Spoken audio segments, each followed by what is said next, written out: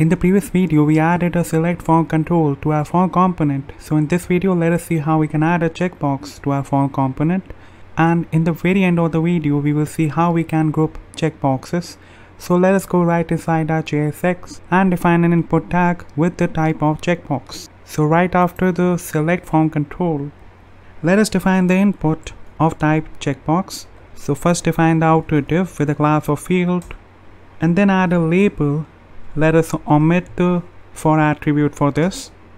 And right inside the label let us add the input with a type of checkbox. Let us add a name citizen check. Here we are going to check whether the user has a citizenship of United States or not. Let us omit this. Let us add a class name of filled in which is a materialized class. And now let us add the on change attribute and when the change event occurs on the checkbox that is when the user checks the checkbox let us trigger the handle change function.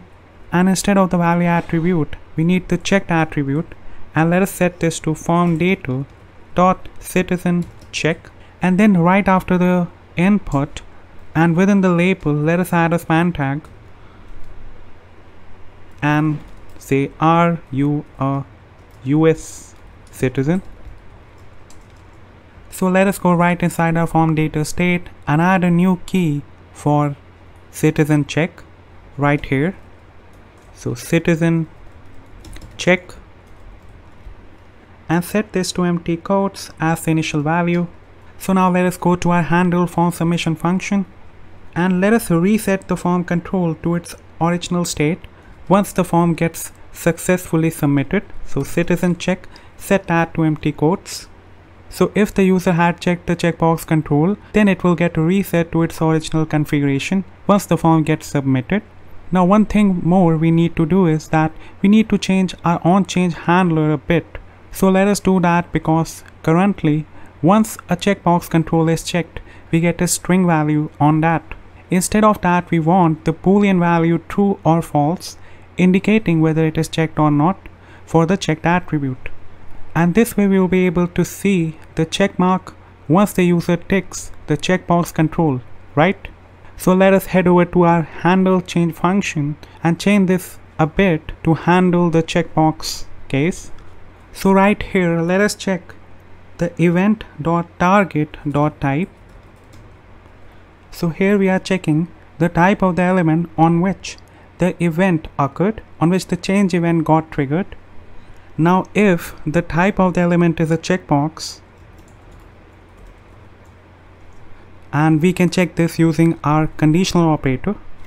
If this condition holds true then let us set the target name attribute to the checked state of the event target so event dot target dot checked and if it is any element other than the checkbox then event.target.value like this.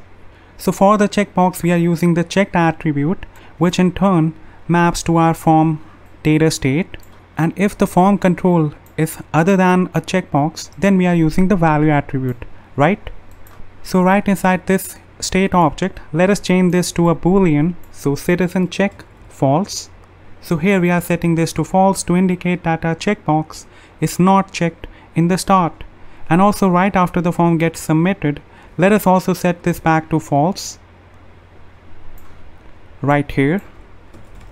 And now let us head over to the browser to see what we get.